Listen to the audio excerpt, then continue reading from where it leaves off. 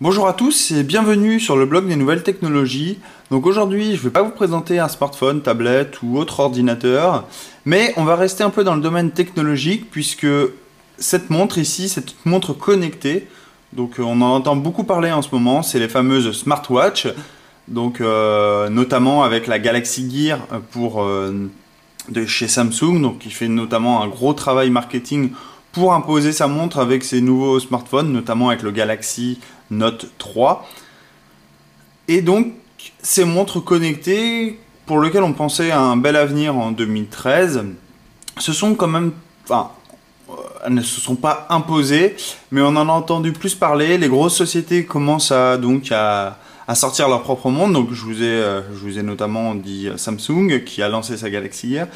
Mais euh, pour 2014, on s'attend à ce que d'autres gros du secteur du, mobile viennent sur ce marché. On attend bien sûr Apple et son, sa présupposée iWatch. Donc il y a plein de spéculations sur le fait que euh, Apple devrait annoncer sa montre connectée dès 2014. On a également Google qui est sur les, euh, qui est sur les chapeaux de roue pour lancer sa propre montre connectée. On a LG qui est attendu pour le MVC, donc le Mobile World Congress à, à Barcelone au mois de février, qui est, qui est attendu pour, pour annoncer sa, montre. Mais euh, pour le CES de Las Vegas, qui, qui est du 7 au 10 janvier de mémoire, on attend également que d'autres constructeurs présentent leur, euh, leur montre connectée. Et puis on a eu plein de petites sociétés qui se sont dit euh, pourquoi pas lancer notre montre nous aussi. Vous avez pu voir une vidéo sur le blog qui concerne, qui concerne une montre connectée, donc j'ai pu découvrir à le web, donc le web 13 au mois de décembre là. donc vous pouvez aller retrouver, retrouver cette petite vidéo de cette montre connectée. Et donc il y a aussi la Pebble, donc Pebble Watch, donc qu'est-ce que c'est Pebble? Bah, C'est tout simplement cette montre connectée qui est apparue sur un réseau un peu particulier puisqu'elle est apparue sur un site de crowdfunding donc qui s'appelle Kickstarter. Donc qu'est-ce que c'est que ce site? C'est tout simplement dès lors que vous avez une idée d'un produit, d'un service, quoi que ce soit, et que vous n'avez pas les moyens de financer votre propre, euh, votre propre campagne, votre, campagne euh, vous allez tout simplement aller sur ces plateformes et donc vous allez, euh, vous allez par exemple donner un but pour, produire, pour produire votre produit, justement, c'est le cas de le dire. Et pour cette montre donc Pebble Watch, tout simplement 100 000 dollars étaient, étaient requis. Donc il suffisait qu'il y ait 100 000, enfin 100 000 personnes qui donnent, qui donnent 1000 dollars pour acquérir cette montre. Il faut savoir que cette campagne a été véritablement un réel succès puisque euh, puisqu'elles n'ont pas, enfin les, fondateurs de, Pebble n'ont pas requis 100 000 dollars mais ont requis 10 millions de dollars. Euh, donc il y a 68 929 personnes pour être exact qui ont donné euh, de l'argent pour, pour cette campagne. Et le moins qu'on puisse dire, c'est que ça a fait un buzz. Cette montre est aujourd'hui commercialisée. Vous pouvez euh, l'acheter un peu partout. En France, il me semble qu'il n'y a qu'un seul revendeur. Euh, et moi, je remercie donc la boutique bleue, euh, sur lequel on peut, sur la montre, sur lequel on peut, on peut acquérir cette, cette, montre, qui est vendue de mémoire, euh, la boutique bleue, j'ai dit, mais c'est la montre bleue. Je sais pas pourquoi je disais la boutique bleue. Euh, c'est pour ça que j'ai voulu me reprendre, mais je me suis pas repris. C'est la montre bleue, pardon, sur lequel vous allez pouvoir acquérir cette, euh, cette Pebble qui est, qui est vendue pour 150 euros. Donc, donc voilà, c'est un prix relativement correct, sachant que la Galaxy Gear donc, est elle vendue 300 euros. Donc vous allez pouvoir vendre vous-même, vous pouvoir acheter pardon cette Pebble Watch directement sur le site lamontrebleu.fr. Donc voilà, j'ai assez parlé de, un peu en détail de, comment, comment est arrivé ce projet.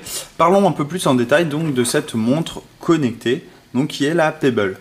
Donc comme je vous le disais ici, j'ai un modèle Kickstarter édition, donc tout simplement c'est un modèle qui, euh, a été, euh, qui a été récupéré après la campagne de fond, donc c'est un backer qui a pu acheter euh, cette montre et qui l'a eu donc par ce moyen-là. Donc premier constat de cette montre, le design plutôt sobre, plutôt assez fin. Si on compare cette montre à une autre montre que vous avez pu découvrir également sur le blog, qui est l'iWatch, donc euh, une, autre, une autre version d'une montre connectée. Euh, vous voyez, on est sur quelque chose de beaucoup plus fin, beaucoup plus discret que ce type de montre là, qui selon moi avait beaucoup de lacunes. Alors certes, c'était euh, dans les toutes premières, toutes premières montres connectées, mais il y avait quand même beaucoup de lacunes. Et du coup, cette Pebble vient, vient tout simplement corriger certains, certains, certains points, et notamment l'autonomie puisque, euh, puisque là où on avait 7 euh, heures d'autonomie et encore, ici on est sur 7 jours, donc euh, voilà, on est sur quelque chose de complètement différent, et vous allez voir pourquoi. Donc, pour finir sur, le design de cette montre, donc ici on a un bracelet en plastique que vous allez pouvoir facilement changer. Donc il suffit de, déclipser ici et vous allez pouvoir changer le, le, bracelet de cette montre. À savoir que la montre est étanche. Alors quand je dis étanche, vous n'allez pas pouvoir non plus euh, faire de la plongée avec, mais vous allez pouvoir vous laver les mains, euh, vous doucher et même faire un petit plongeon dans l'eau puisqu'elle est euh, immersible jusqu'à 50 mètres. Donc voilà, elle est, tout, de même, elle est tout de même relativement étanche. donc, donc vous allez pouvoir faire, faire quand même des petits... des activités nautiques avec cette montre. En revanche, si vous passez sur un, sur un bracelet, non pas en plastique, mais sur, euh, sur un autre type de bracelet, là, elle risque d'être moins étanche. Sinon, concernant la montre en elle-même ici, donc on est sur une, base plastique. Ici, on a un écran qui est un peu particulier, j'y reviendrai par la suite. Et on voit qu'ici, il y a des boutons de chaque côté. Et je vais également vous les présenter. Les dimensions de la montre, on est sur une hauteur de 50,33 mm. On est sur une largeur de 32 mm et sur une épaisseur de 8,44 mm. Donc c'est dans la taille à peu près d'épaisseur pour vous donner une idée. C'est à peu près l'épaisseur d'un smartphone. Pour le poids, on est sur du 36 grammes, donc c'est relativement léger. Écran couleur, bien évidemment que non, comme vous le voyez ici, on est sur quelque chose monochrome, donc du noir et du blanc. Ensuite, qu'est-ce, que j'ai à dire d'autre? Il n'est pas tactile, donc vous pouvez essayer de, de slider dans tous les sens, ça ne marchera pas. Il va falloir vous servir des boutons qui sont sur les côtés. La résolution de l'écran, on est sur du 144 x 168 pixels, donc en noir et blanc. On est sur un écran, alors pour vous donner une idée, c'est un peu un écran euh, e-paper, donc c'est-à-dire euh, monochrome, où, euh, toutes les liseuses, un peu toutes les liseuses numériques, où, vous avez cette impression de un peu de. Ouais, de. je sais pas comment. Enfin, c'est difficile à expliquer, mais on est sur, sur ce type d'écran ou noir et blanc qui justement permet une super autonomie au niveau, de, au niveau de la montre, et ça c'est plutôt bien.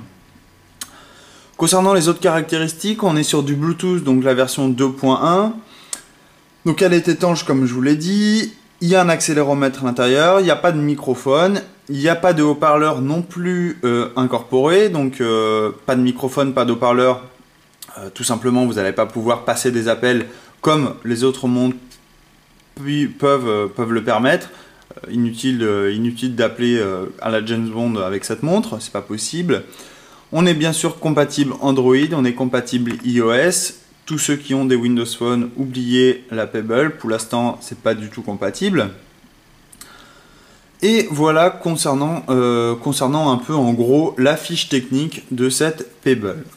Pour rentrer un peu plus dans les détails, donc sur le côté gauche de la montre, donc que vous voyez ici, on a un bouton ici, c'est pour revenir en arrière tout simplement. Et ici on a un connecteur qui est un peu spécial, puisqu'il va nous permettre donc de connecter notre montre et de la recharger. Donc voici le câble qui vient avec la montre. Donc ici, on a un embout USB classique. Donc là, on va pouvoir se connecter euh, par exemple à une prise secteur avec un, avec un embout euh, bien spécifique. Avec un... Et ici, on a donc la fameuse fiche. Donc il suffit de venir comme ceci, c'est aimanté. Donc ça vous fait penser tout simplement euh, au chargeur MacBook, notamment de chez Apple où on a, euh, un truc, quelque chose démonté. Donc si on se prend les pieds dedans, etc., ça vient tout de suite se déclipser. Et ça, c'est plutôt euh, pratique, c'est plutôt bien pensé du côté de Pebble. Donc voici concernant le connecteur euh, de la Pebble. De l'autre côté, on retrouve trois boutons. Donc le premier ici en haut c'est le bouton pour aller euh, pour défiler vers le haut. Ici c'est pour défiler vers le bas et le bouton du milieu c'est tout simplement pour valider. Donc ici par exemple je vais vous montrer. Donc si je vais dans le menu, ici je défile vers le bas, ici je défile vers le haut et ici j'actionne tout simplement euh, tout simplement l'action OK. Et je reviens donc avec ce bouton en retour arrière. À l'arrière, bah, rien de spécial, on voit la mention Pebble, donc là c'est la version Kickstarter édition, et euh, différentes informations. Voilà pour euh, le tour du propriétaire pour cette montre. Donc sur l'écran, je ne vais, pas, revenir dessus, je vous ai expliqué qu'il était monochrome, donc pas de couleur et non plus pas tactile. Maintenant, on va passer un peu euh, en détail les fonctionnalités qu'offre cette montre, puisque euh, une montre connectée, on dit que c'est une extension du smartphone.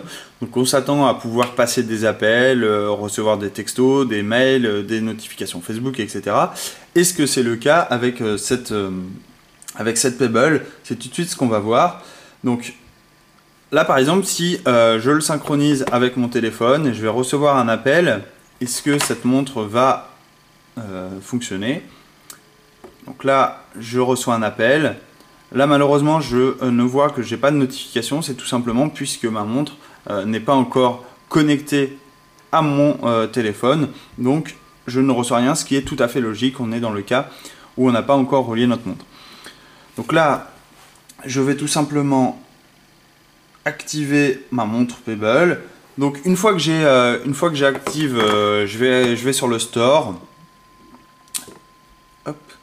Je vais... Ok, j'active le Bluetooth. Donc je vais sur le store, je récupère l'application euh, MyPebble officielle. Hop. Comme ceci. Euh, alors attendez, est-ce que j'ai bien activé les settings? Hop. Donc là, hop, je suis bien en Bluetooth. Je regarde si mon téléphone est également en Bluetooth. Il est désactivé, donc effectivement ça marchera moins bien. Donc là, j'active le Bluetooth sur mon téléphone. Allez. Bon, pendant que ça se connecte, je vais vous montrer également quelque chose, euh, quelque chose de relativement euh, pratique. Alors, comme je vous l'ai dit, on n'a pas de rétroéclairage sur cette montre, mais sachez qu'avec un écran euh, comme ceci, donc là vous voyez l'écran est plutôt, enfin on voit, on voit parfaitement l'heure. Sachez que si on est en plein soleil, hop, comme ceci, vous voyez, euh, on peut effectivement aussi euh, lire parfaitement l'heure. Donc là, j'ai une lampe euh, qui éclaire la montre. Et vous voyez que l'heure est tout à fait lisible, sans aucun problème. Donc ne vous inquiétez pas, dès que, vous allez être dehors, vous, allez pouvoir, parfaitement lire, sur votre, enfin, lire la montre, lire l'heure, sans aucun problème. Et également voir, voir les notifications qui concernent cette montre. Alors, est-ce que j'arrive à accéder le Bluetooth? Non. Donc, on va faire autrement. On va aller sur... Hop, comme ceci. Alors là, je vous demande deux petites secondes. Ça marchait tout à l'heure. Là, mon Bluetooth ne marche plus sur mon smartphone. C'est pas très grave. On va prendre le LG. je vais augmenter la luminosité pour que vous voyez. Donc, je vais éteindre la lumière. On verra mieux. Hop, comme ceci. Donc là, j'ai le Bluetooth. Je vais aller... On va faire du coup l'appareillage classique.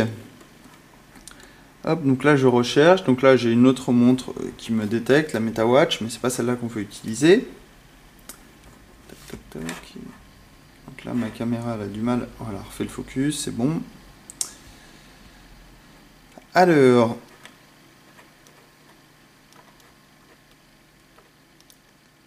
je vais le remettre en on.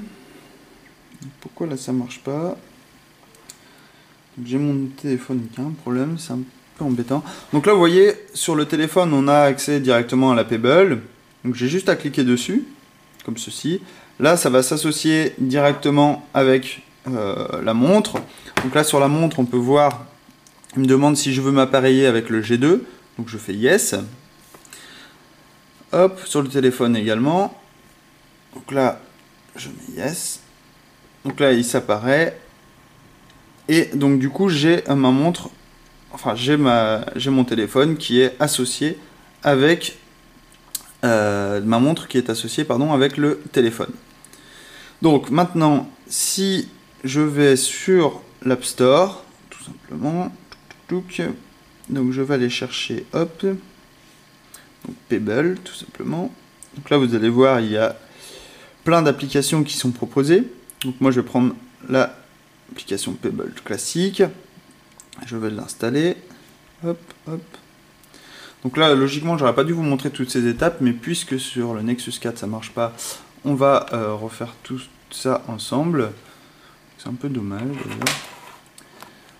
C'est pas très grave. Donc là, je vais repasser ici. Donc voilà, la caméra se synchronise. Allez.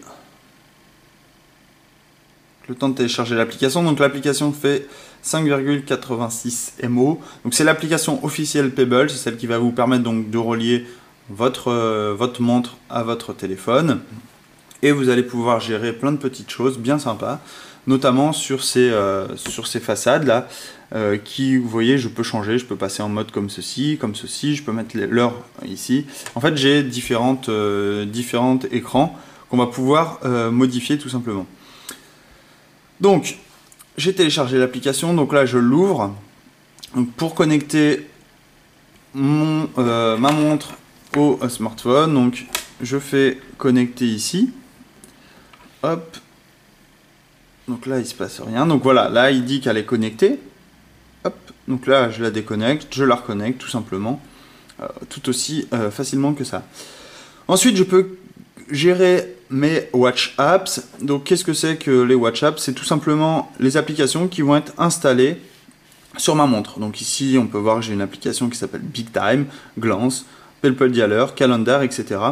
Et je peux euh, aller en chercher d'autres, donc dans ce qui, euh, dans ce qu'on appelle le Pebble Watch entre guillemets.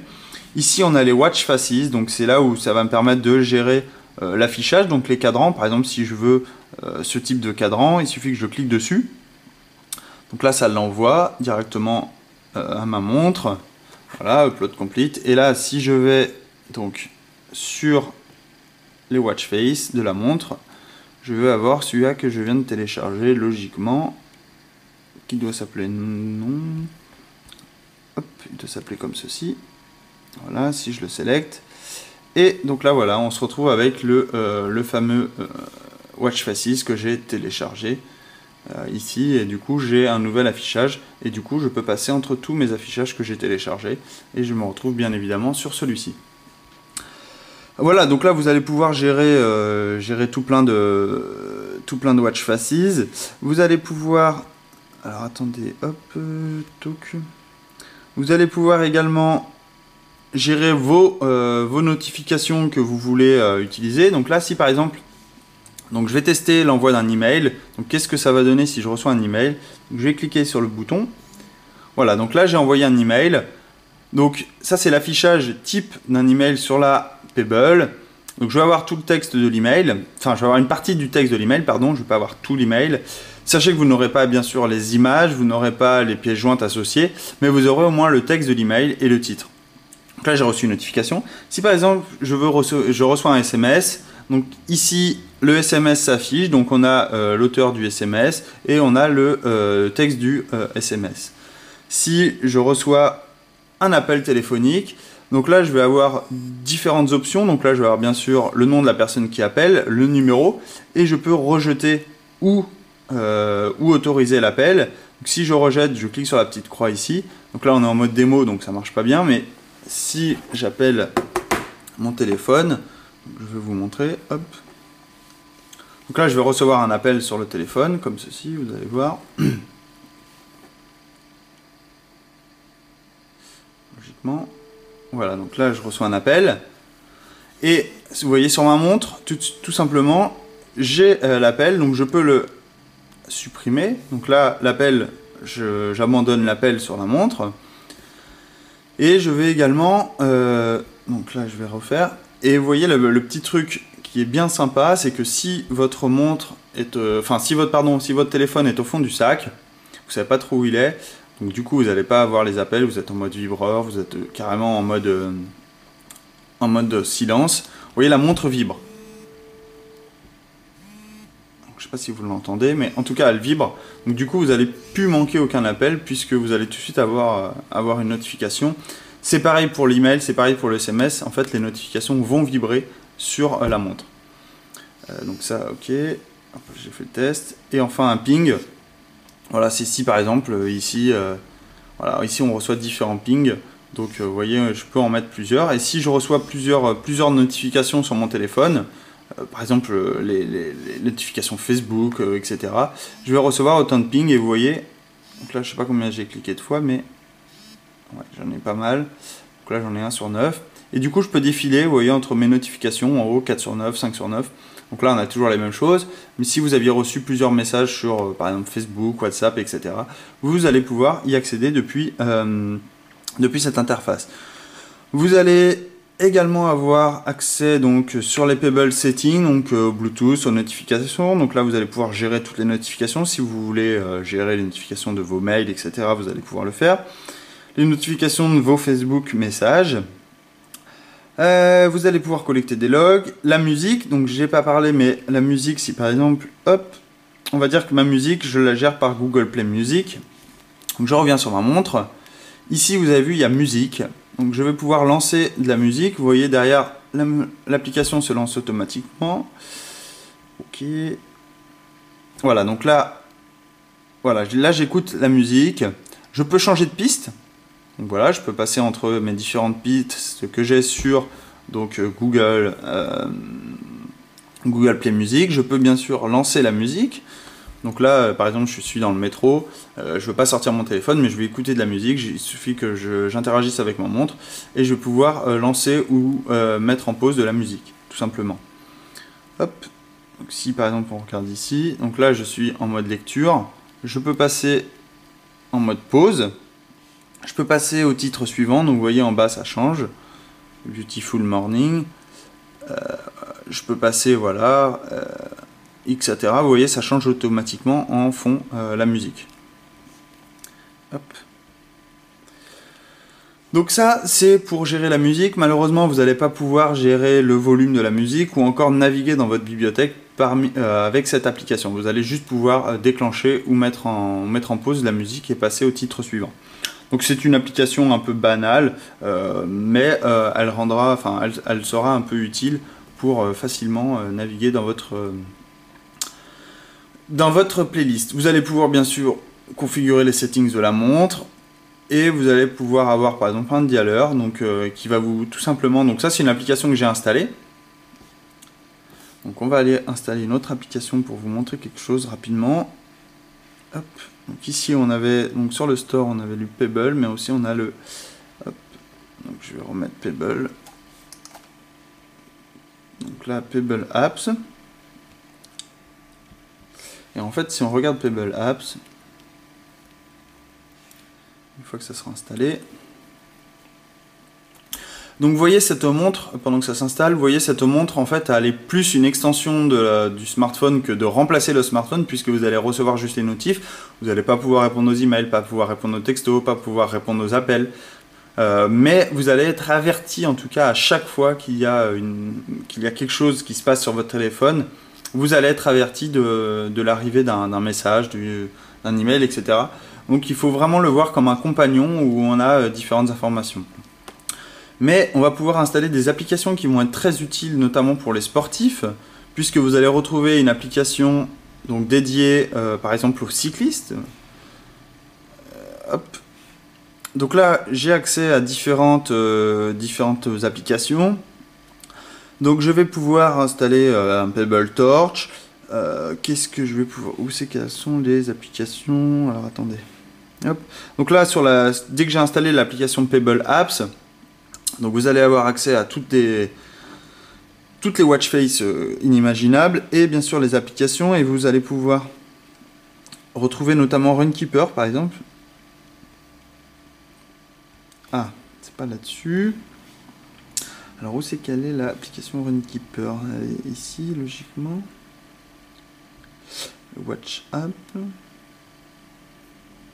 Normalement, elle était ici, mais euh, je sais plus comment on parvient à aller. Parce que là, on a que Watch. Euh, c'est une. Je ne sais plus comment on parvient à avoir l'application. Donc là, par exemple, je vais installer une application Snake qui va vous permettre de jouer, euh, de jouer tout simplement au Snake, un peu euh, à la version old school. Mais on avait des applications. Où est-ce qu'elles sont? Je sais plus où elles sont, mais je sais qu'on a des applications. comment on va au chapitre suivant? Non, je sais plus comment on y va. Euh, je sais plus comment on y va. En tout cas, je sais qu'on a des, euh, on a des applications qui vous permettent de, par exemple Runkeeper, qui va vous permettre tout simplement d'aller, euh, d'aller, dès que vous courez, avoir, euh, avoir la possibilité de, de lancer l'application Runkeeper. Vous pour tous ceux qui font du vélo, vous allez également avoir l'accès à une application vélo. Donc là, vous voyez, j'ai, la fameuse application Snake. Donc là, vous allez pouvoir vous retrouvez sur votre ancien Nokia par exemple et vous allez pouvoir jouer à Snake euh, tout simplement avec, avec votre montre. Euh, voilà, donc si vous vous ennuyez dans le métro par exemple, vous allez pouvoir jouer à ce, vieux jeu. Donc on n'est pas sur des, euh, sur des jeux 3D bien évidemment, c'est pas le but de, la, de la montre. Mais voilà, on est sur quelque chose de. Là, on est sur des applications qui permettent de démontrer la puissance qu'on peut, peut avoir avec cette montre et ce sont plutôt des applications de test. Donc ça m'embête un peu de ne pas avoir Runkeeper, etc. Mais euh, je sais plus comment on fait. Parce que ici j'ai que euh, les Smart Face. Non, je sais plus comment on y va. Euh, je sais plus. Bon, c'est pas très grave. En gros, euh, vous aurez tout ça dans l'article, hein, bien évidemment. Mais voilà, en gros, cette Pebble est vraiment une extension du smartphone. Vous allez bien sûr avoir différentes, euh, différents ressentis pour, euh, pour un tel produit. Il y en a qui vont apprécier le, côté design, il y en a qui vont pas du tout aimer. En ce qui me concerne, je, trouve ça plutôt, euh, plutôt sympa, plutôt discret. Je l'ai utilisé pendant un petit moment et, et c'était vraiment, ça, se fondait vraiment dans, le décor entre guillemets. J'ai même des amis qui ont été assez impressionnés du fait qu'on pouvait recevoir des, des emails ou des textos depuis cette montre. Le jour de Noël, ça a un peu c'est un peu épaté la galerie. Mais voilà, euh, on est sur quelque chose de qui va, euh, qui va se démocratiser selon moi pour 2014. On va avoir de plus en plus de montres, j'espère en tout cas, de plus en plus de constructeurs. Donc voilà, on va avoir des nouveautés qui vont arriver. Donc, euh, donc voilà, c'est promis un bel avenir. Cette Pebble est, pour moi quelque chose de, de, de ce que j'aime avoir pour une montre. Euh, une batterie ou enfin une montre qu'on recharge toutes les semaines, ça va. Si on commence à recharger tous les jours comme notre smartphone, là ça commence à devenir contraignant. Mais là, toutes les semaines, c'est relativement euh, gérable. Donc voilà, cette Pebble est vraiment un succès selon moi. Euh, si vous voulez, si vous voulez l'acquérir, bah, je, vous, conseille d'aller sur le site lamontrebleu.fr, vous allez pouvoir l'acheter. Et voilà, je vous dis à tous une très bonne journée. J'ai d'autres vidéos à vous montrer, une autre, une autre smartwatch également à vous présenter qui devrait venir très rapidement. Donc voilà, je vous souhaite à tous une très bonne journée, à très bientôt et à merci, au revoir.